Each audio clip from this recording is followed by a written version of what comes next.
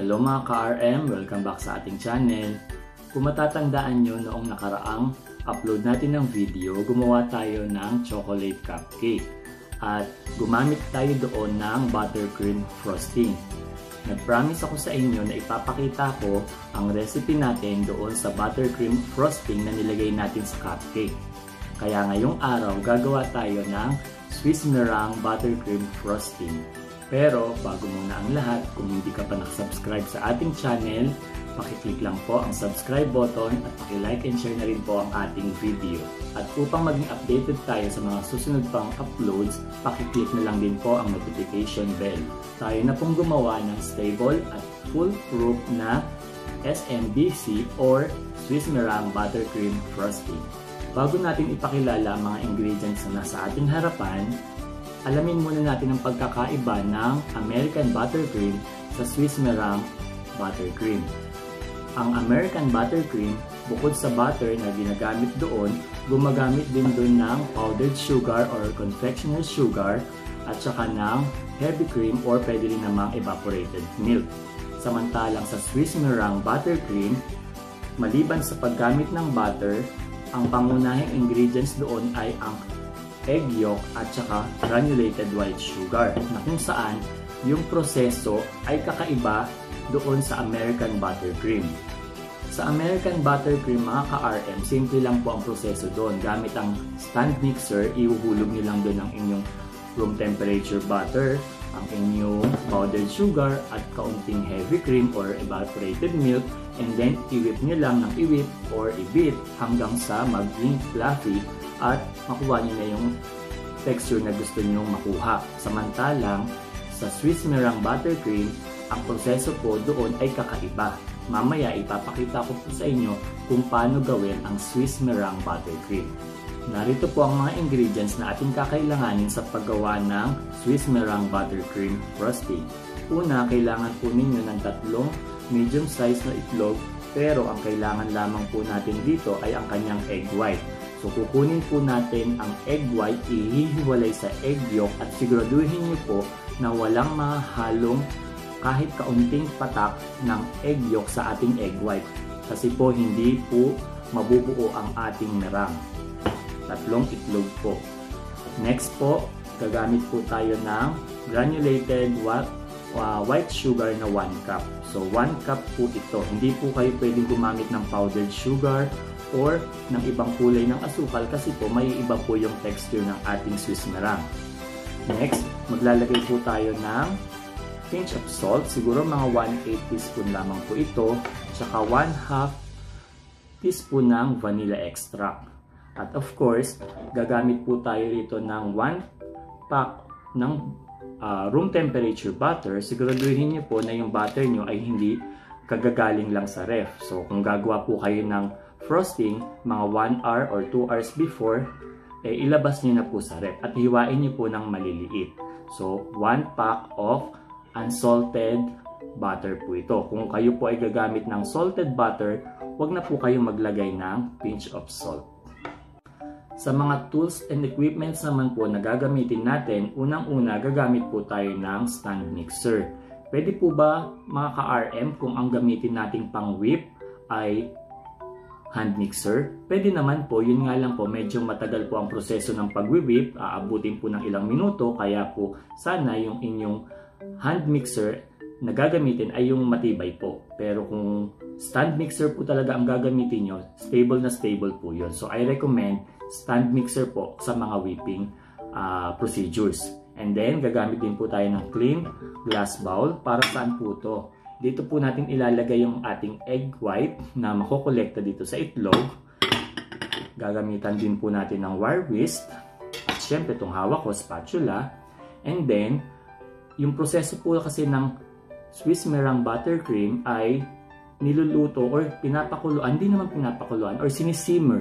Sinisimmer po yung egg white tsaka yung sugar gamit ang double boiler. Ito po sa aking kaliwa, meron po tayong kalan tsaka kaserola na may tubig. Mamaya ipapakita ko po sa inyo kung paano natin gagawin yung Swiss meringue buttercream. Tayo na pong magsimula sa paggawa ng Swiss meringue buttercream. Ang una po natin gagawin ay syempre basagin natin ang itlog at siguraduhin natin na maingat tayo sa pagbabasag, walang mahalong egg yolk sa ating egg white. Ayan. So, gagamit po ako dito ng egg yolk separator.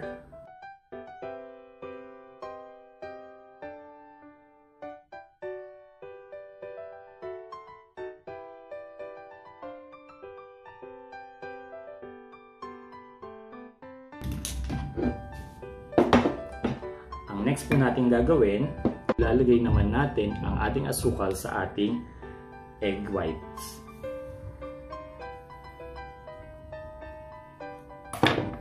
Ito mga ka-RM. So, i-mix nyo lang po.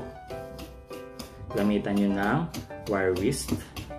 Haluin nyo lang po ng maigi. Siguraduhin nyo po na na-combine muna ang asukal at ang itlog bago natin to isalang sa kumukulong tubig dun sa ating kaserola.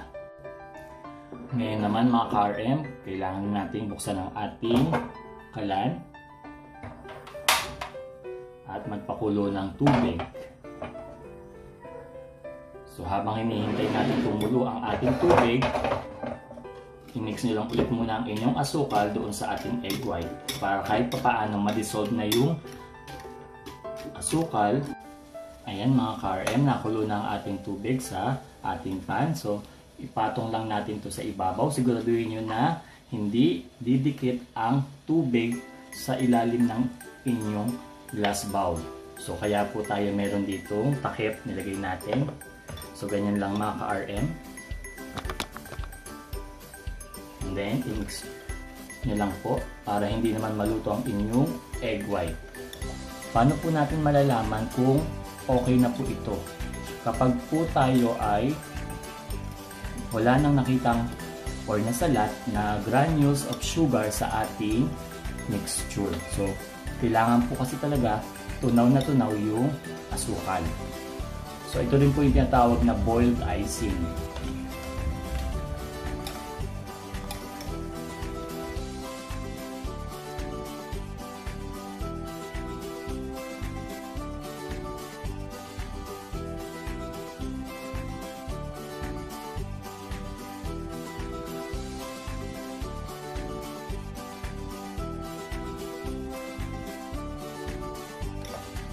Ayan mga ka-RM, malapit na itong matapos. So, salatin nyo lang talaga kung meron pang grains of sugar or buo-buong asukal. Pag wala na, pwede na natin itigil itong pagkahalo.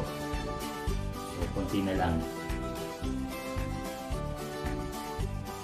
Ang dapat po pala malinis ang kamay nyo ha. Ako po yung nag-sanitize ng kamay at ganito po talaga ang proseso. So, wag po kayong uh, mandire. Kailangan po talaga nating salatin. Ayan mga ka-RM, So, okay na po ito. So, palamigin lamang po muna natin ito ng mga 10 minutes and then isalangan natin sa ating mixer. Ayan, nagbabalik tayong muli mga ka-RM. Medyo malamig na itong ating uh, sugar at saka ang ating egg white. So, kunin na lang natin ang ating mixing bowl.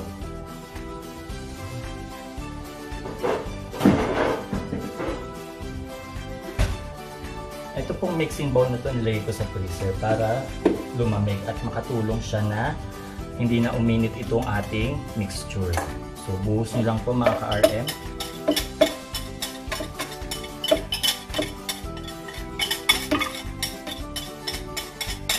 Yan. Pwede kayong gumamit ng spatula para masimot nyo lahat.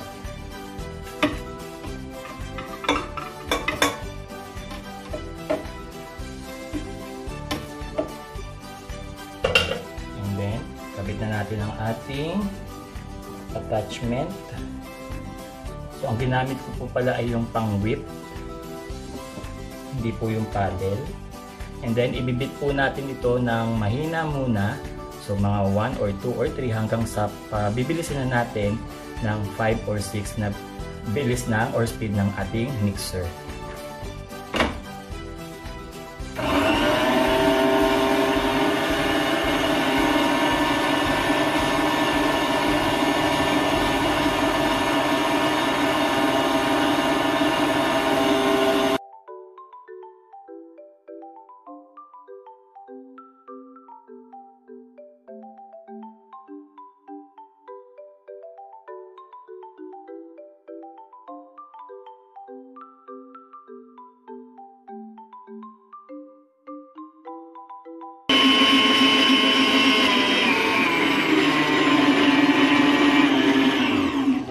ka-RM, i-check muna natin.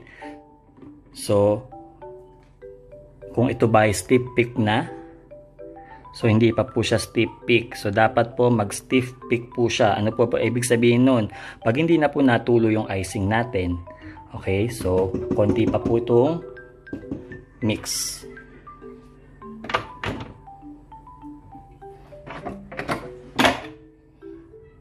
High speed lang po ulit ha.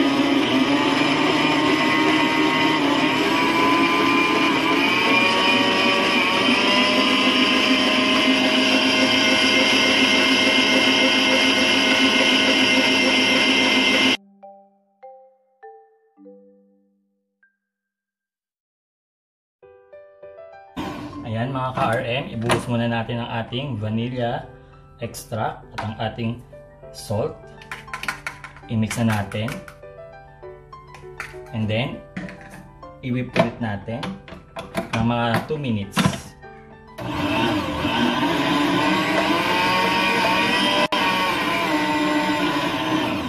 Okay mga ka-RM, check na natin kung stiff thick na ang ating merang. So, tingnan nyo po ah. So, kung mapapansin nyo po, napaka taas na ng volume niya. And, of course, ang ating merang ay frosty na. So, pwede na po natin ilagay ang ating butter.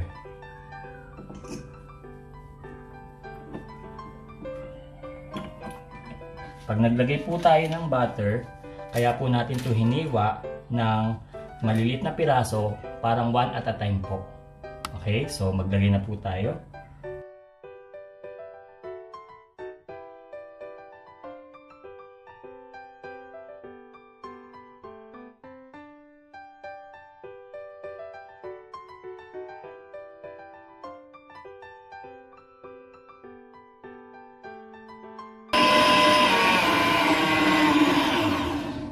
Okay mga ka-RM, so napansin nyo na halo na natin ang ating butter sa ating merang. So scrape nyo lang po yung mga gilid kasi po yung ibang mga butter ay nandyan pa sa gilid.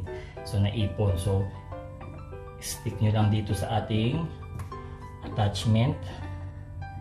And then imimix pa po natin to ng high speed ng mga 3 minutes or hanggang completely na ma-incorporate na natin ang butter sa ating merang. And then, siguraduhin lamang po natin na ito ay fluffy na. So, hindi pa siya fluffy dahil nga sa butter. So, kailangan pa natin ito ng i-mix ng mga 3, 3 minutes. So, ayan na po. Tuloy lang natin ang pag-mix.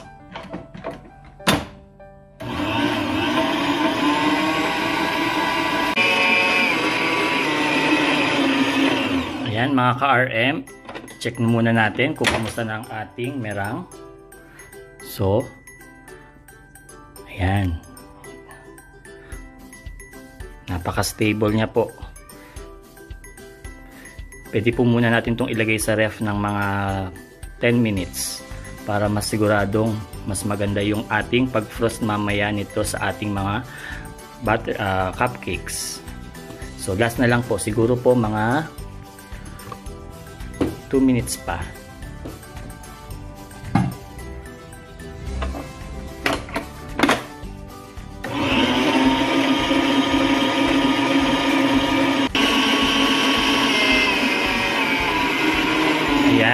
After 2 minutes mga ka-RM, pwede na natin itong ilagay sa ating ref.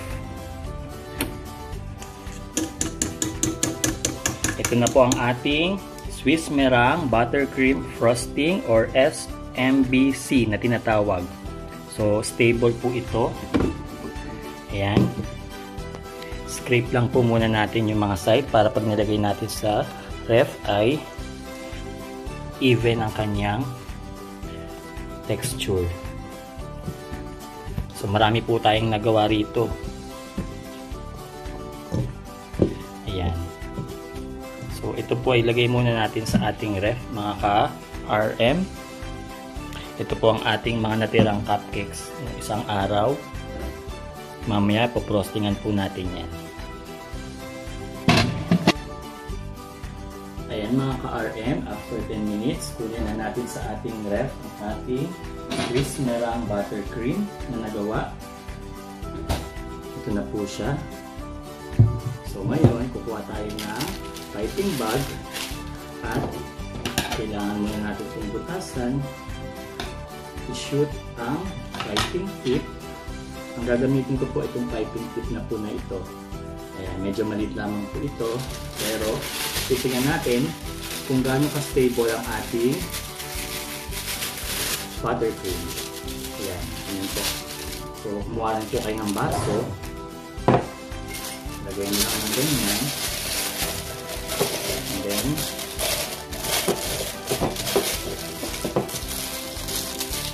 sandukan niyo po.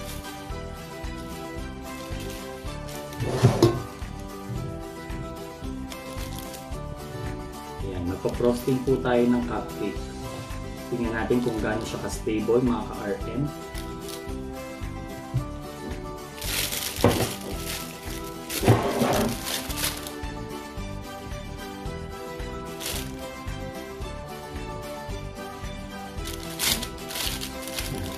Siguro.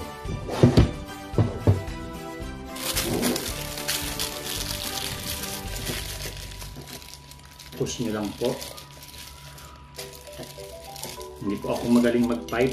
Pasensya na po. Siguraduhin nyo lang po na walang hangin. Ayan, kung meron man po, tanggalin nyo muna yung hangin. Ayan. So, try na po natin mag-pipe.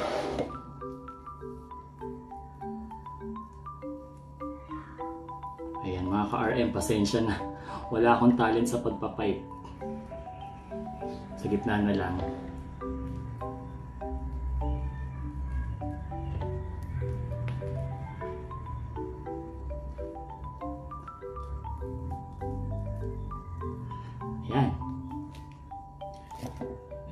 ka-RM ang ating nagawang buttercream frosting. Swiss Meringue buttercream frosting. O, ba? Siyempre, tikman natin kung anong lasa. Kasama na rin yung cupcake. Mmm. Napakasarap mga ka-RM. Ito talaga yung mga icing na nakikita natin sa mga cake. Ayan, ang dami oh. Pwede natin itong ipampalaman sa mga cake na gagawin natin. Fillings. Ayan mga ka-RM, ngayon natuto naman tayo kung paano gumawa ng isang recipe na napakadali, ang Swiss Meringue Buttercream. So, ano pang hinihintay nyo kung gagawa kayo ng cupcake? Partneran nyo na ng Swiss Meringue Buttercream. Napakadali lang ng mga ingredients. At higit sa lahat, kayang-kaya nyo yan. So, salamat po sa panonood. Hanggang sa muli. Bye-bye!